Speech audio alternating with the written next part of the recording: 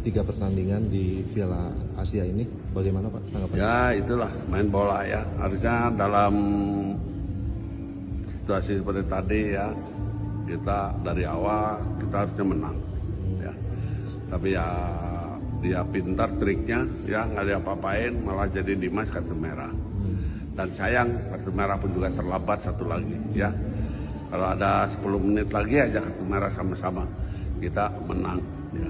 Berarti terkait kepemimpinan wasit, Bapak puas atau gimana? Ya tidak ada masalah ya. Kalau wasit ya dia juga ada profesional lah, tidak ada masalah ya. Profesional wasit. No, no.